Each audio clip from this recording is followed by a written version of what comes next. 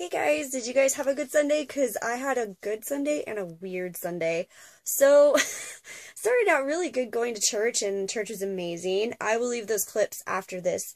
And it was awesome, right? So, yay! Then we were going home, and something happened to our car. So, like, the ball barrels or something? I don't know.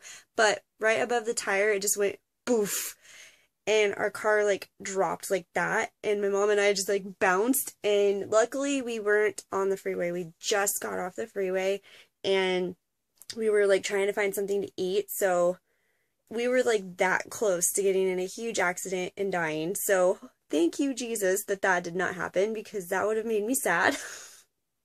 I would have been like, why am I with you, Jesus? wait, what? so, um, yeah, so we had to wait for the tow truck and then take it to the dealer place, and it took forever for that to happen. Because when the tow truck guy came, like, he had to, like, pop the tire off and try to fix it, like, where he could pump it up so he could actually move it. It was crazy. Insane. So, finally got home and just kind of letting ourselves vibrate, like, just realize, like, what just happened, just kind of rest, and yeah, so I'm getting ready to watch Once Upon a Time, because I love that show, and start the week tomorrow. So now I have to share a car with my mom, so now I have to, like, take her to work and then go get her at the end of the day. So that should be interesting. But I'm excited because tomorrow is gym day and also golfing day. So it's supposed to rain though, so I'll probably just go and to a covered range and hit balls. But yeah, good weekend. Did the walk for freedom, church, got to look at Bellevue Mall, which is amazing. I want to go back so bad because they have all the stores I love and super cute stuff. I got a book at one of this places. What was it called? Lorna Jane or something like that, and it's a workout place. Really expensive. I was like, oh, these pants are cute. $250. I was like, yeah, that's not happening. But I got a book that was really cool because I'm trying to, like, I want to start eating better and eating clean and drink more water and all the stuff that I already know what to do. But this was really eh, just the way it's, like, laid out is super cute and I don't know, maybe she has some tips or recipes. There's recipes in there, so easy stuff that I could kind of follow. So I'm excited about that. So I got a book because it was the only thing that really I could afford in that store. All the stuff was so cute though. Oh well, one day, one day it'll happen. Um, yeah, so, and then I got to eat at Cheesecake Factory. I was like, oh my god, I just blinked. The Cheesecake Factory, which I was so excited to do because I ate there a long time, like, long time ago, and didn't really have that great of a time. And yeah, not gonna go into detail, but I needed a new memory. So for years, I've been wanting to go there and have a new memory to replace that memory. So I finally got to do it with my mom and Christina, and it was so much fun. And I got this really yummy dish. It was called garlic noodles, and I had chicken put into it, and it was so good because I love myself some noodles. Oh my gosh! And that is like one of my biggest things is I eat too much noodles. I'll admit it. I'm a noodle holic, and that needs to change. so yeah.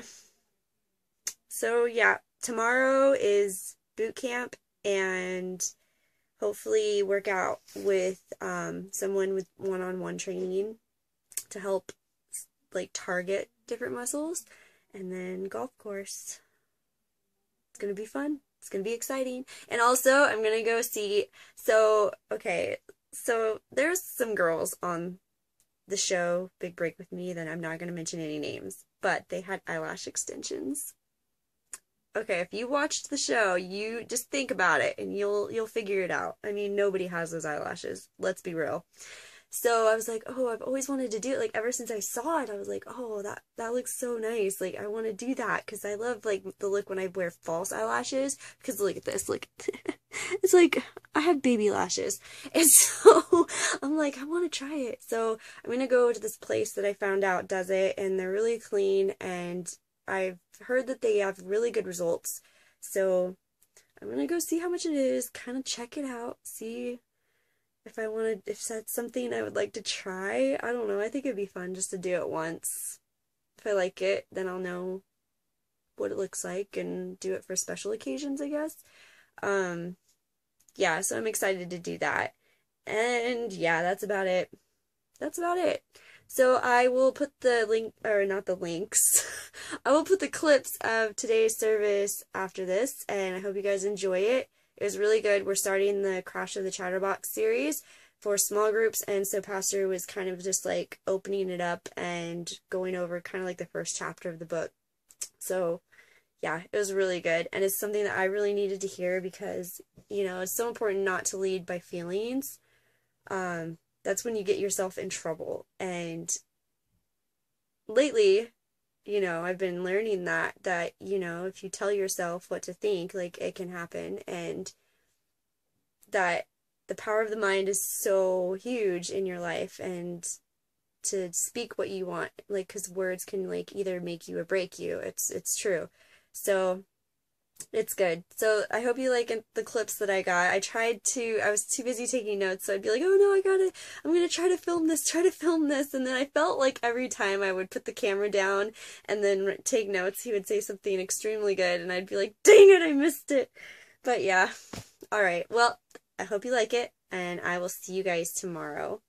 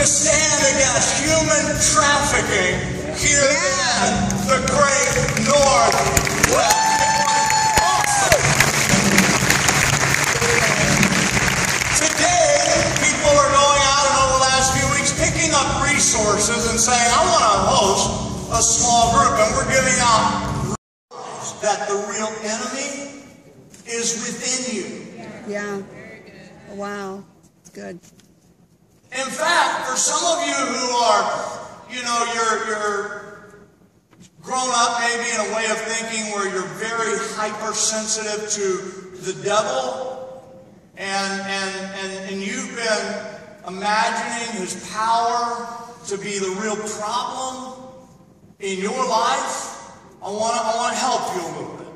Okay, I want to just sort this out for you. Okay? The devil is our enemy, and he is real, and he does exist. Mm-hmm. But the battlefield is the mind. Yes. Yes. And, and we got to quit blaming the devil. Come on, Christian. Come on. We got to quit blaming the devil for everything that goes wrong yes. in your life. Good. Good. And, and a little, little, little help for you right now, because some people are like, some people literally, you know, the devil messed up my car this week, and the devil was in the vacuum cleaner, and, the devil, like, he rode beside me all the way to work, and the devil's there when I go to bed, and the devil is there when I wake up. And devil, devil, devil, I rebuke you, devil. Okay, no theology for you. The devil is not omnipresent. Yeah, good. God is omnipresent. Amen. But Satan can only be one place at a time. And your house and your car and your bedroom is not that important. that he spent the whole week focusing on you. Oh my goodness. So you're like, but Pastor Kevin, where does all this come from? Great question. It comes from our own sin nature. Mm-hmm. The moment we're born, we are born with a sin nature. And the Bible talks a lot about, the Bible calls the carnal nature, the sin nature. Right. And so it's right there all the time. So, so, so just chill a little bit, because actually, you know, the, the devil doesn't have to be at your house because you are. Oh, oh ouch. my gosh. Ouch. ouch. Come on, say I love you, Pastor. Love you, Pastor. I'm Ouch. be honest with you. The devil had to be in your car because you are.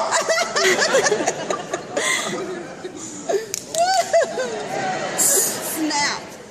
The voice. Distraction to your teammates. It doesn't distract anybody. It motivates. Did you fight a lot of this week? Not everybody in Compton's gang. Richard, what's your reputation as a thug?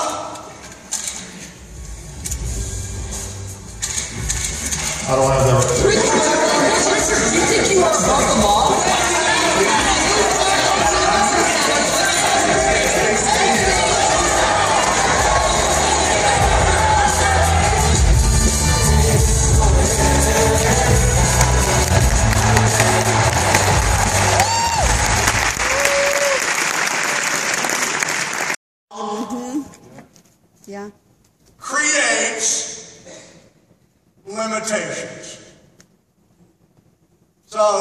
You might go to a positive thinking sort of rally or seminar or something like that, and you hear somebody speak about how important it is to think positive, you know, and really important for you to have a positive mentality because you'll you'll be more happy and you know all that's good and all that's true. But I want to take it a step further today, and I want to just say to you, in case you haven't thought about it, that not only does negative thinking make you less happy, but it also will hinder you from doing all that you can do. And will make a huge and lasting impact on your life that'll hold you back. I said it'll hold you back Right. from all the greatness that you're capable of. And when I say greatness, I'm not talking about being a, you know, a, a, a award winner uh, of the Oscars or something. I'm just talking about, you know, everyday stuff impacting your children, impacting your family, impacting your marriage, impacting the people around you, um, raising up a good business, prospering, doing well in your life every single day. The question is, what great deeds remain undone because of the lies Yeah. Yeah. that limit people. Yeah. It's good. Very. How much great influence is compromised because of lies that people believe from the chatter going on in their head?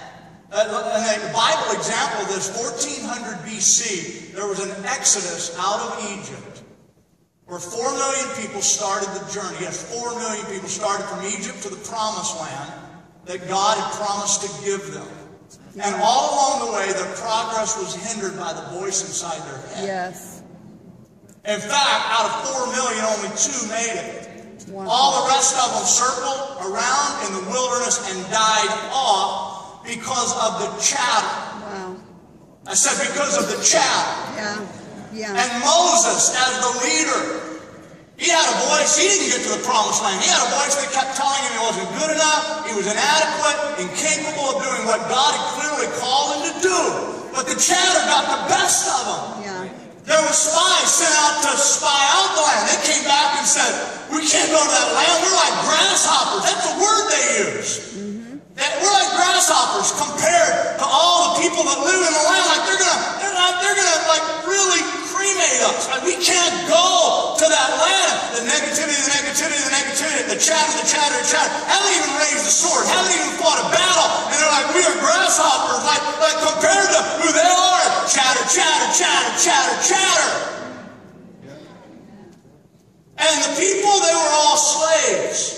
They'd grown up in slavery in Egypt. And making the mental shift from seeing themselves as slaves, even though God had given them the opportunity to occupy land and build houses and raise their children in a land of freedom, an entrepreneurial kind of lifestyle, Yeah. cultivating the land, growing harvest, you know, being their own owners of their own life, all of that, all of that was not occupied in their life because of the chatter that kept them thinking like slaves. Excellent.